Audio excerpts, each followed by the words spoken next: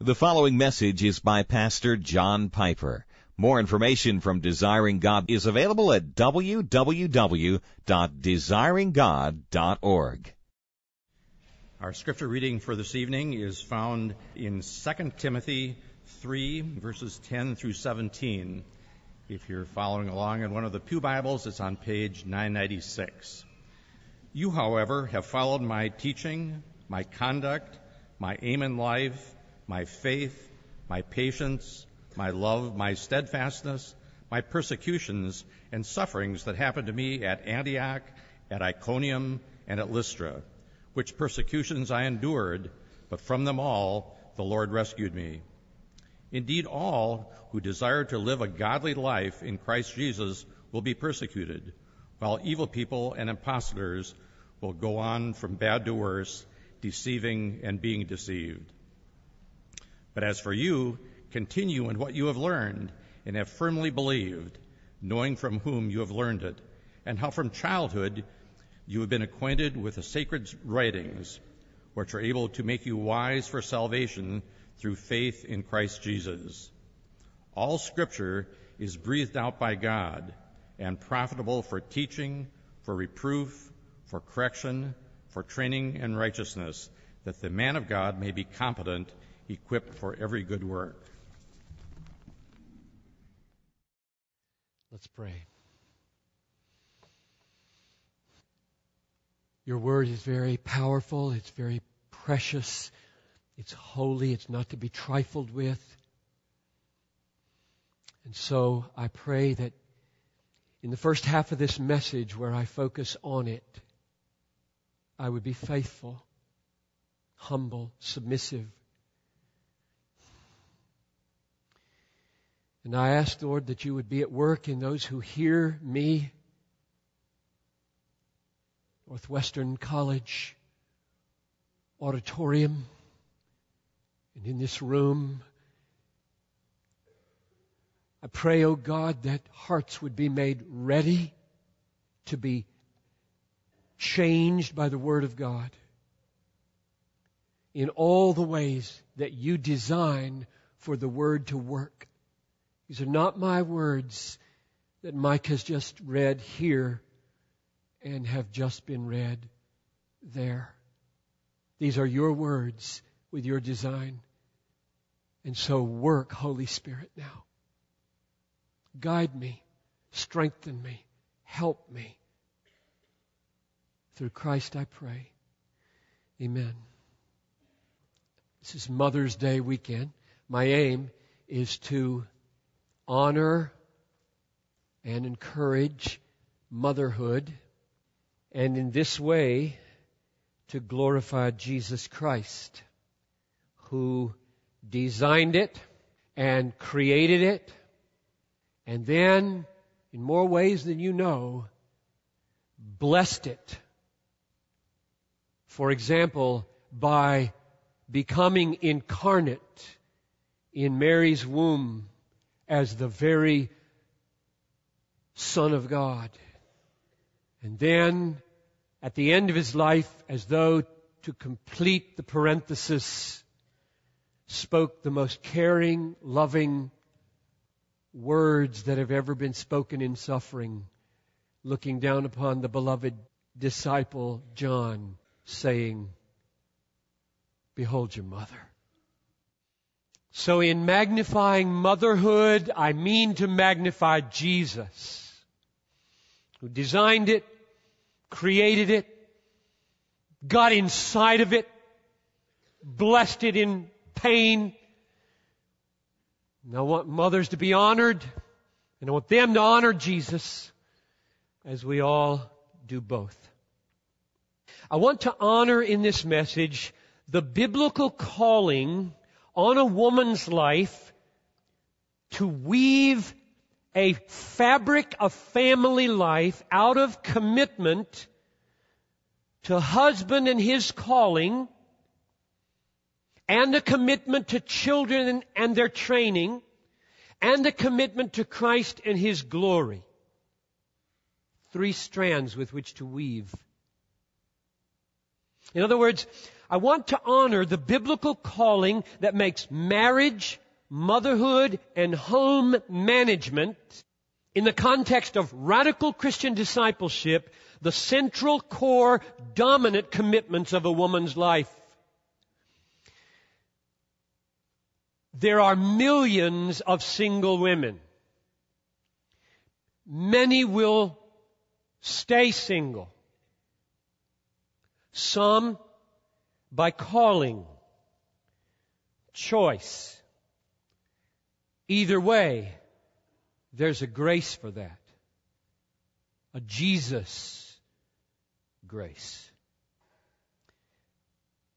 There are women who are single mothers for whom the marriage component or thread in that weaving is painfully missing. There's a grace for that. A Jesus grace for that. There are women who are married and cannot have children or with their husbands for kingdom reasons choose not to have children and there's a grace for that. A Jesus grace for that. And there are mothers who weave together mothering and marriage and home management with a part-time or full-time employment outside the home. Some because they may have to, like those single moms, and others because they sense that it's part of their calling and they have found creative ways to interlace this with their lives without compromise to their core commitments and others, sadly, who don't have any core commitments, supporting their husband in his calling, pouring their lives into their children, managing the home to the glory of Christ. They have simply absorbed the views of the world from television, media, friends who have no biblical framework, and they are adrift in their vaunted career. My aim is not to address all those circumstances. My aim is to encourage millions of women who believe that they have heard God's calling on their lives in marriage. The joyful support of a man and his calling as they together display the meaning of Christ and His church to the world. And motherhood the transmission of God centered, Christ treasuring vision of life to the next generation. And home management, the creation of a beautiful, simple place or a living organism called a home which becomes not only to the family but to the community a refuge of Christ's peace and a launching pad of God's righteousness. That's their calling. That's what they believe at the bottom of their soul they should give themselves to. I'm talking about those women this morning and I am eager to encourage you because you're not gonna get much encouragement from the world. And there's a reason for that. They don't have a clue what I am talking about.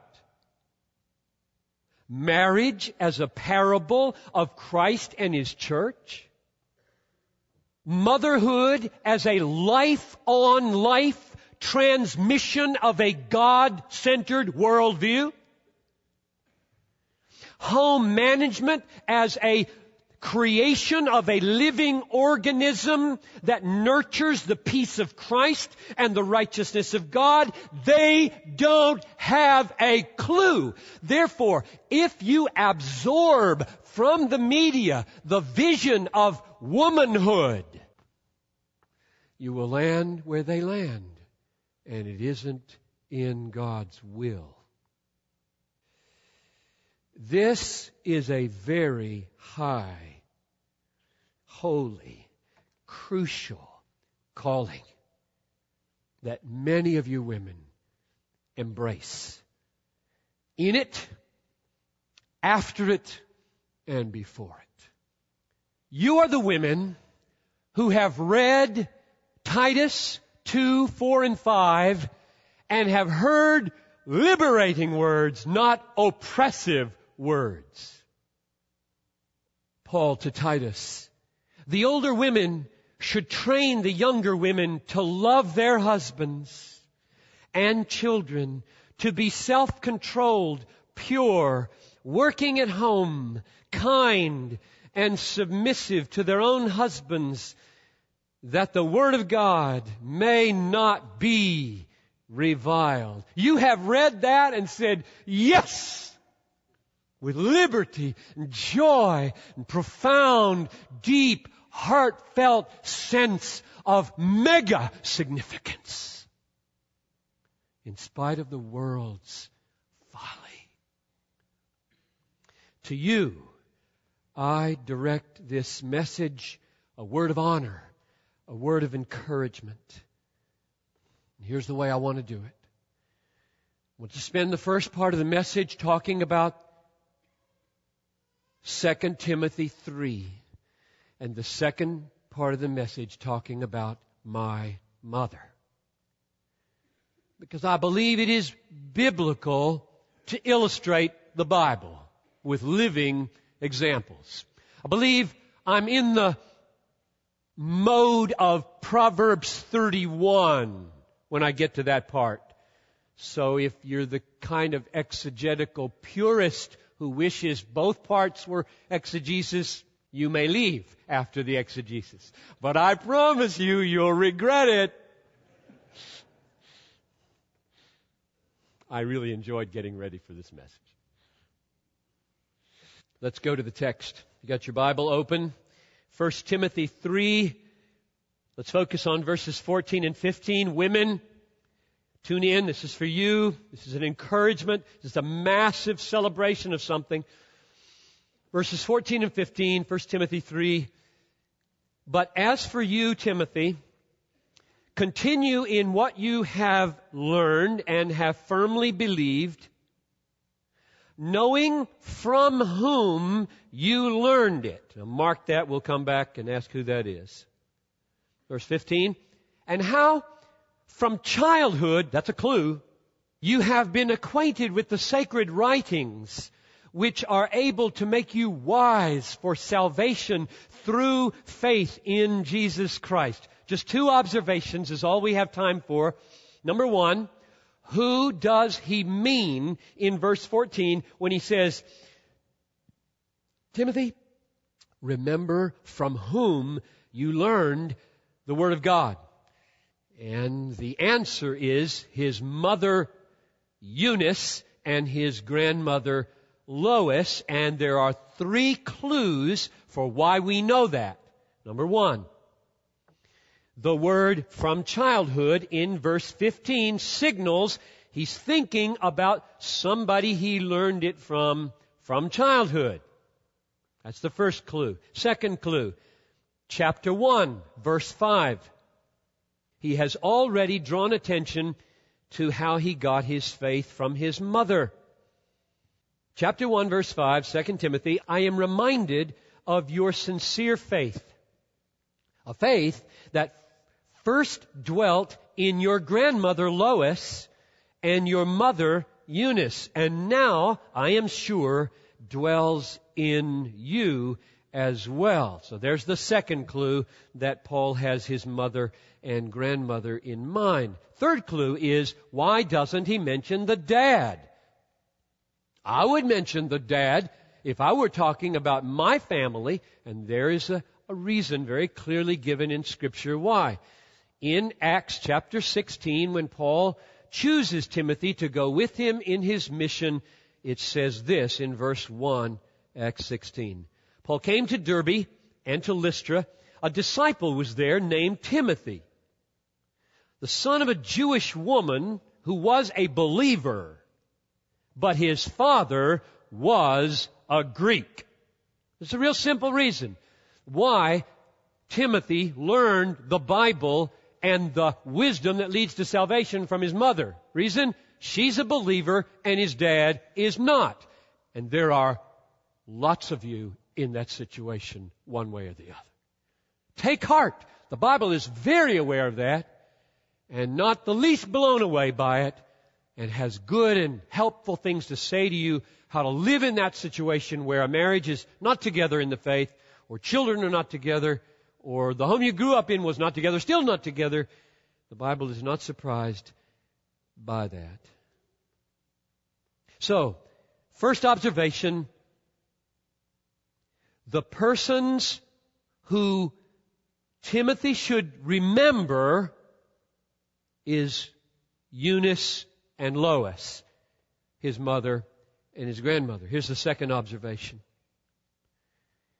Remembering the character of your godly mother is a great incentive to hold on to the scriptures and not to throw away your commitment to Christ. Let's read verse 14 again and you see if you hear that. As for you, Timothy, continue. Now, this is Paul's burden. He's looking at a relatively young man, he's young in relation to Paul, and he's looking at him, he's saying, don't go astray. Stay on the narrow road. Hold fast to what you've learned. Don't make shipwreck of your faith. Keep on. Hold on. Now he wants to motivate that. How does he do it? But as for you, continue in what you have learned and have firmly believed. And then he says, as an incentive, knowing from whom you learned it. In other words, Timothy, one way, it's not the only way, but it's one way, one way to strengthen your faith and to persevere through hard times and not to give up the Word of God that you learned as a boy. One way is to remember what your mom was like and your grandmother. Now, I'm not addressing the situation where you grew up and you had an unbelieving mom or an abusive mom. I'm, I'm addressing women who are mothers and committed to it, who were mothers and still are committed to it, and who might become mothers and want to be committed to it to encourage you this is the way it could be. This is the height and depth of the calling. To have a child who, like me right now, 50 years later is remembering with tears. I got myself all cried out yesterday so I wouldn't have to now in the next 10 minutes. So I hope it worked. So that's my exposition of the text. Paul celebrates motherhood and grandmotherhood by saying, the way they were, Timothy, is a reason not to throw away the faith. Make that come true. Now, I want to illustrate this by paying tribute to Ruth Piper. And I have two documents. I didn't bring them, I just excerpted from them. I went digging back through my files. A document from my father, three pages. I'm going to read it to you at the end. And a document that I wrote 30 years ago. And what I'll do is, with regard to my document, tell you something about my mother and then read you what I wrote 30 years ago to illustrate it. And the way you should listen to this is okay, John had a mother who was like what he just described. And maybe if I listen as a mother, or a would be mother or a man who would like to pray for a wife who would be this kind of mother or for my wife who's not a believer to become this kind of mother. In other words, there's every way this can be related will touch somebody in this room. Number one, God's honor was paramount for my mother. I wrote. I never got spanked for making a mess in my pants, but I did for skipping church, which goes to show Mama cared more about keeping God's name and my soul clean than she did her own hands. Number two. She was never cynical about my weaknesses. I'm concerned here, so I'm using this one. Concerned here. Um, we live in a day in which children are sassy and parents comply. And they pick this up from their peers and sometimes from you. Because if you start bantering with your child the way you do an adult in terms of cynicism, it won't work in the long run. So, as I look back and think about it, she never did that. She never came down to my immature level. She was always mother, not sister, bantering cynically about my weaknesses. So I wrote, You won't understand this language because you're not Southern Baptist. Southern Baptist had a Sunday evening event called Training Union, and it trained young people to be able to speak in front of a group, and they had to give parts. They called them parts. And so you gave it the best you could, and it might take a minute. And they trained you that way. Well, that was takes your breath away. When I had to give my first part in training union, right after promotion day, when everybody's older, she showed me how to write the main points on a card and listen just before supper while I practiced on her. She never let on it wasn't life and death. That's what I mean how quickly we look at our little ones and we belittle it. We mock it because it's so out of proportion. Don't do that. Be like that. Third, she had a Bible saturated concern for my heart.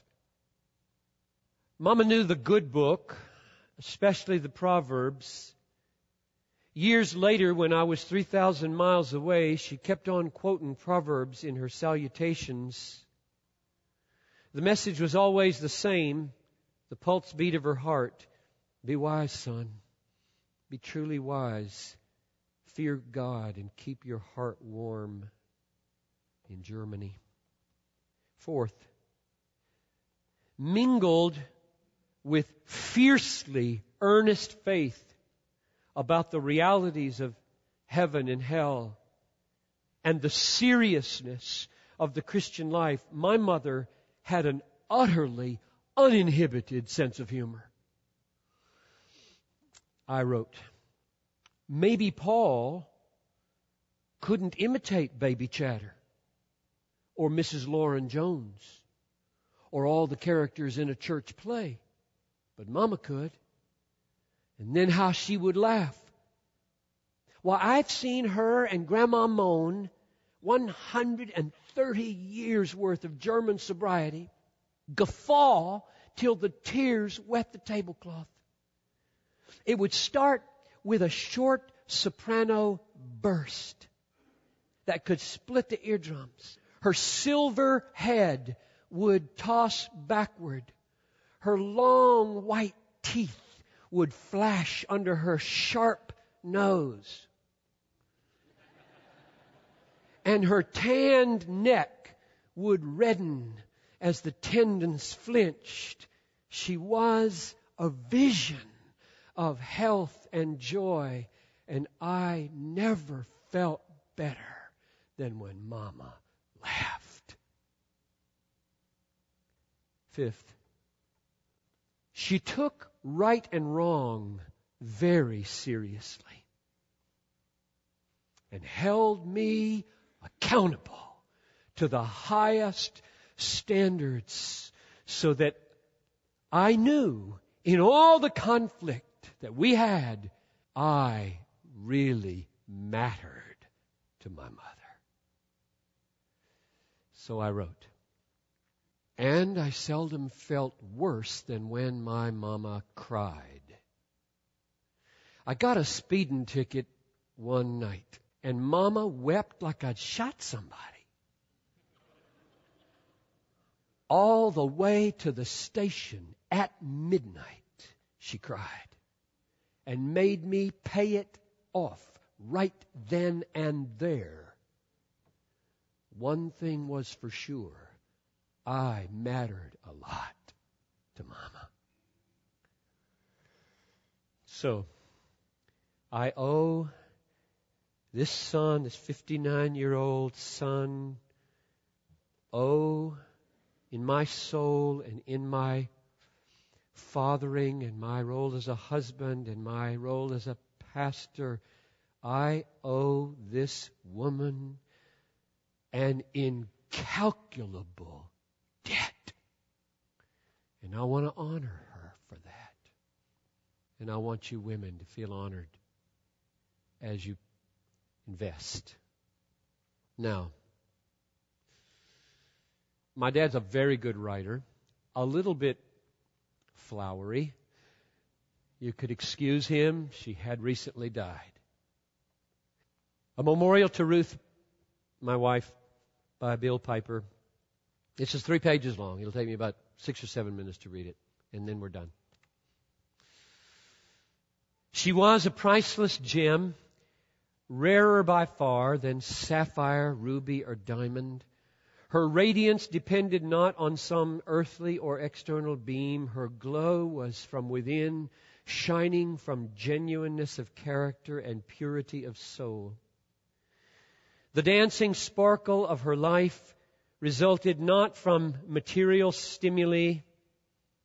It came from a heart that gave and gave and gave again with never a thought of receiving. It reflected a life that loved and loved until there was just no more to love. Her beauty was that of expanded unselfishness. Her whole life was others. Her loved ones, her friends, her neighbors, and her church. She knew no resting place. The needs were endless, and her devotion always equaled the demands. Deep weariness of mind and body never deterred her. Let me fill in a parenthesis here that is, I'm kind of operating like family tonight, and a lot of you are not. My dad was an evangelist, an itinerant evangelist, which means he was away from home two thirds of the year. Be gone for two weeks, home for four days. Gone for three weeks, home for four days. Gone for five weeks, home for four days. Gone for a week, home for four days. That was our life. So when you when you hear this, understand my dad is trying to be a dad by telephone most of the year. And this five foot two woman, whose son outgrew her at age 13, was trying to manage his unruliness. That little phrase, deep weariness, struck me. The enormous wealth of her character showed most in her unstinting kindness. All who knew her felt it witnessed it, experienced and believed in it. Everyone coming within the warm glow of her influence was cheered, encouraged, lifted, and blessed. Her beauty knew no vanity. She disdained the cheap, the tawdry, the make believe. She loathed everything farcical and hypocritical. Her genuineness was transparent. She radiated reality. Life to her was neither a mummery. What in the world is a mummery? My dad, what are you saying, mummery? Well, I looked it up. I'll tell you what a mummery is. A mummery is a pretentious performance by mummers. Actors. It's a play. a pretentious play. Okay, start that one over.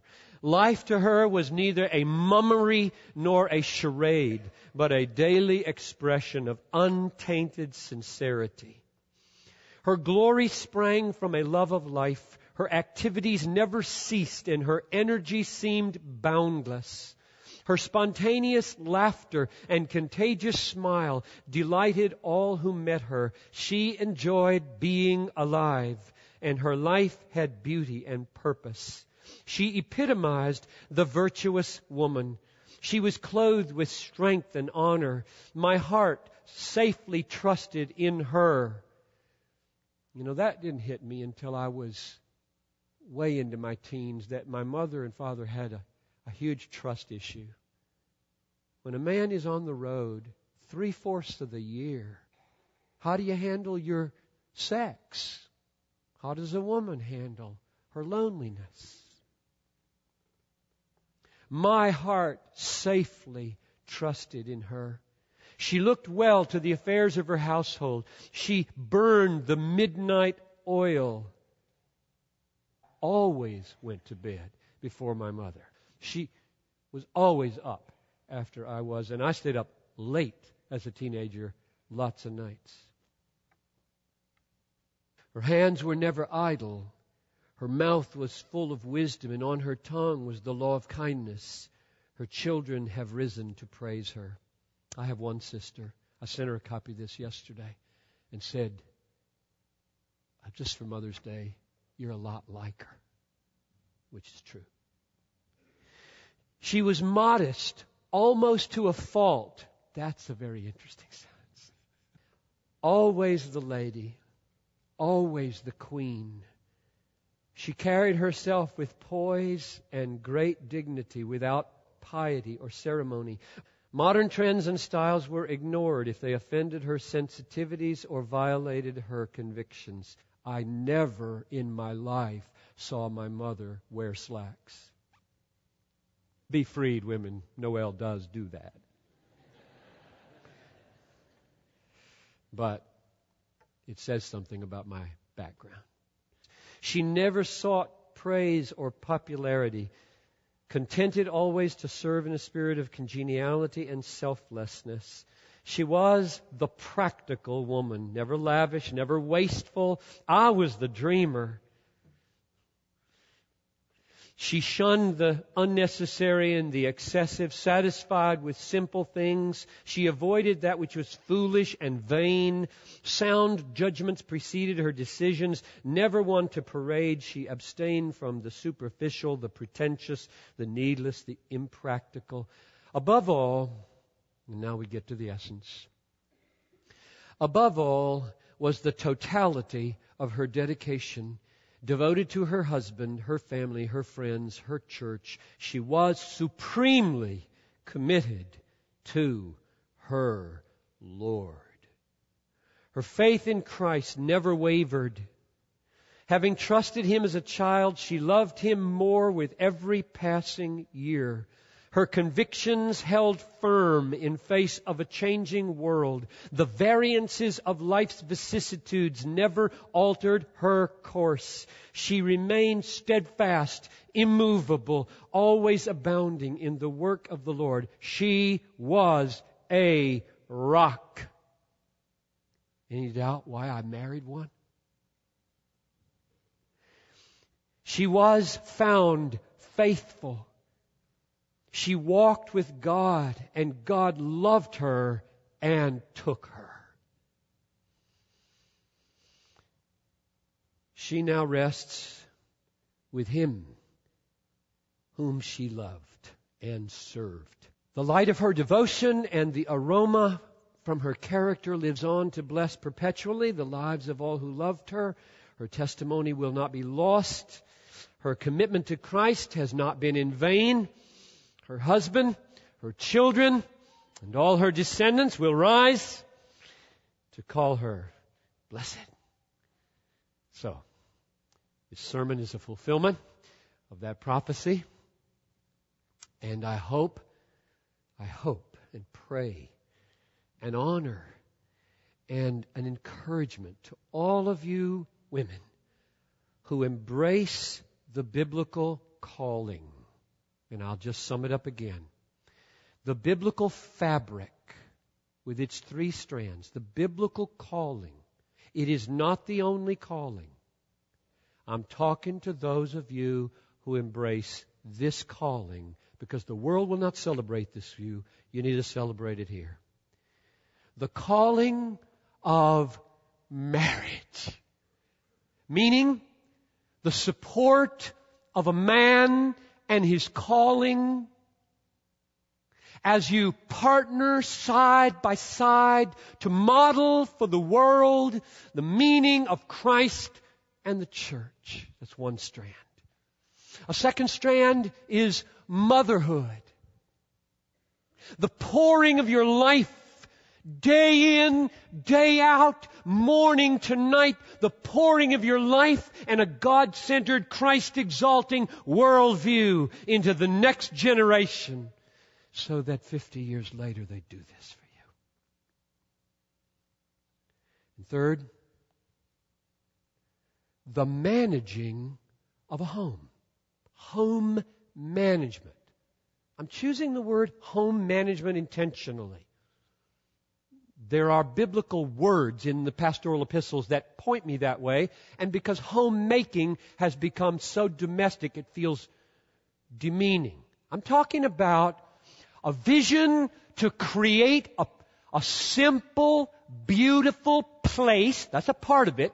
Mainly, however, to create a living organism that for the sake of family, community, church, and nation is a, a place of refuge in the peace of Christ and a place of launching righteousness and justice in the community. I'm addressing women who see those three strands and feel in their souls a deep, resounding yes. For that I believe I was made. If you're one of those women, this sermon was for you to say, that's a good thing. That's a glorious thing. That's an awesome thing. And don't let anybody tell you otherwise. Father in heaven, I thank you for my mother and my wife. I love these women. I stand in awe of these women and the life calling that they have lived. And I love the women of this church, single, divorced, widows, happily and unhappily married. I love them all. I'd like to get my arms around them and preach a sermon for each one. But Lord, for those women who know their calling is marriage, motherhood, and home management, would you encourage them? Thank you for them. In Jesus' name, amen. Thank you for listening to this message by John Piper, pastor for preaching at Bethlehem Baptist Church in Minneapolis, Minnesota. Feel free to make copies of this message to give to others, but please do not charge for those copies or alter the content in any way without permission. We invite you to visit Desiring God online at www.desiringgod.org. There you'll find hundreds of sermons, articles, radio broadcasts, and much more, all available to you at no charge. Our online store carries all of Pastor John's books, audio, and video resources. You can also stay up to date on what's new at Desiring God. Again, our website is www.desiringgod.org or call us toll free at 1 888 346 4700. Our mailing address is Desiring God, 2601 East Franklin Avenue, Minneapolis, Minnesota 55406. Desiring God exists to help you make God your treasure because God is most glorified in us when we are most satisfied in Him.